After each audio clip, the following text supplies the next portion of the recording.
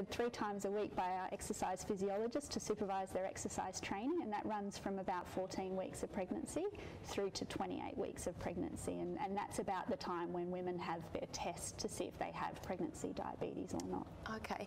Was there is there any connection? Do they have have they had diabetes beforehand, or has this just come with pregnancy? Yeah, so um, it's a diabetes specific to pregnancy. Okay. So basically, up until that point, No history. Yeah, yeah. Oh, okay. yeah. Um, and, and why is this research so important? I know you've given us the reasons, and it sounds like it can be pretty serious. Yeah, certainly. Um, you know, given those potential health implications for those, both mother and baby, if we can find a way of preventing the condition from happening, yeah, it can can have such such great great benefits and mm. it's I guess potentially could impact future generations as well because if those children are potentially at increased risks of obesity and diabetes later in life mm. then then themselves will have increased risks of you know having pregnancy diabetes and so on so it's sort of like a recurrent cycle, a cycle. if you like Yeah. With the um, the bike that goes stationed in, into their homes, what's the reaction like? Are they are they find they're enjoying it? Is it? Yeah, look, I mean, most women, most women volunteer for the study because Okay. they're they're kind of hoping that they get Yeah. the exercise Okay. program. But at the same time, I have to admit there are some women that are a bit horrified at the thought of this bike being delivered and the Yeah. fact they have to exercise three times Yeah. a week. But look, on the whole, the women the women really enjoy it Yeah. because they have had pregnancy diabetes in a Mm. previous pregnancy, they, they all have at least one child already. Mm. Um, and any mum will tell you finding time for exercise is really difficult. So Mm. this program aims to sort of take away all those barriers. So it's in the comfort of your own home. You don't have to Mm. go anywhere. You don't have to worry about yeah transportation, childcare, because kids can be you know at home Yeah. around you. And the fact that the trainer comes to the home as well. You've got the Mm. supervision aspect for any woman that's con- concerned about safety. How long are they on the bike for each each session? Um, it, it really individual. So Oh, some okay. women come into the study with a reasonable level of fitness. Some don't have any exercise experience. So it's all tailored Okay. to each woman's individual levels. Okay, sure. Yeah.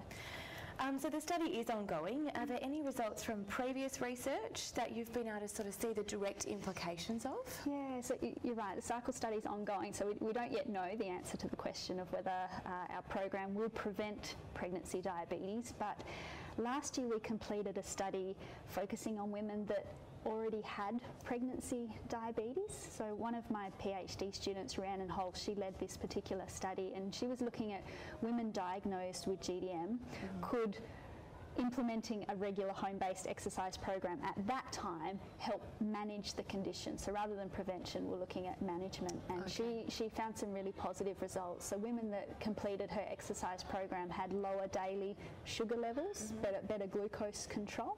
Um, and it's, it's high sugar levels that's the whole problem with the pregnancy diabetes.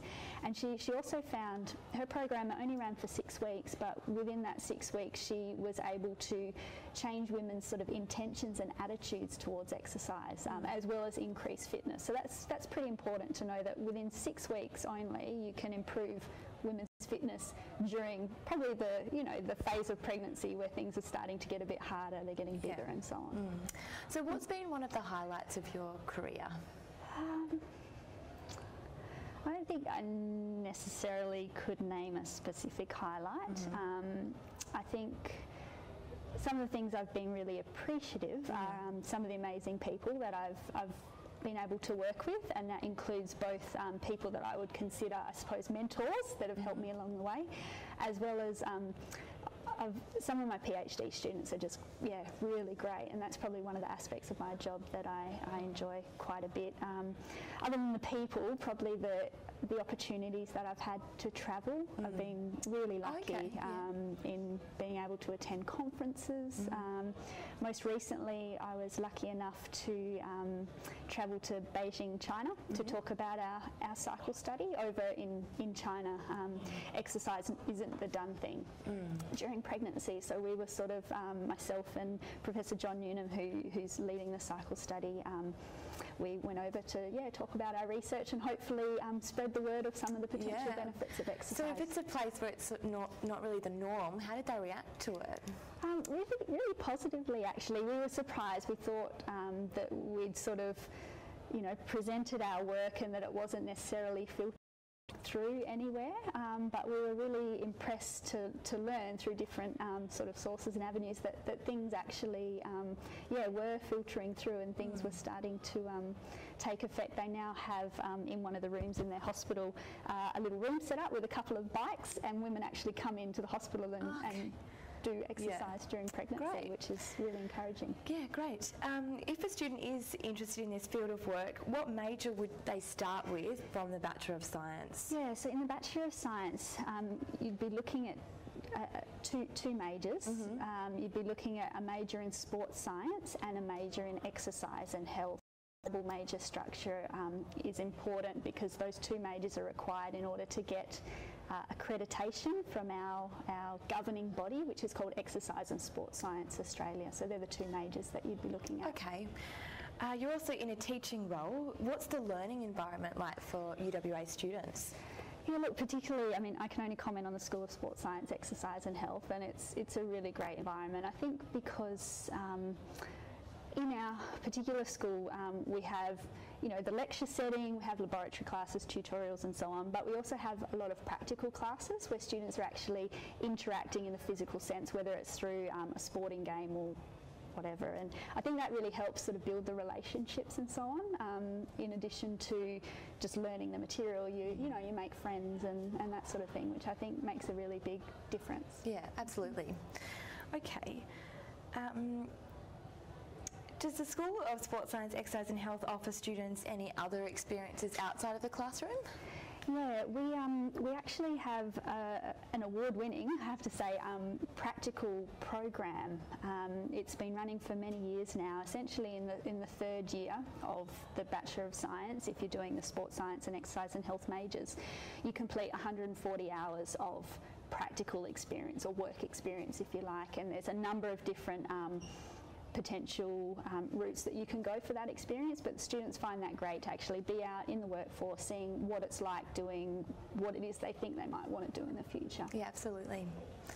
Um, oh, you've mentioned your PhD students. So, um, are there any? Are you looking after or supervising a couple, or is it was it just that one? Yeah, um, well, Rhiannon that I mentioned previously, she's she's now finished um, her PhD, which is great. She she graduated earlier this year, um, but I, I have a number of other PhD students. Um, some also working on exercise and pregnancy.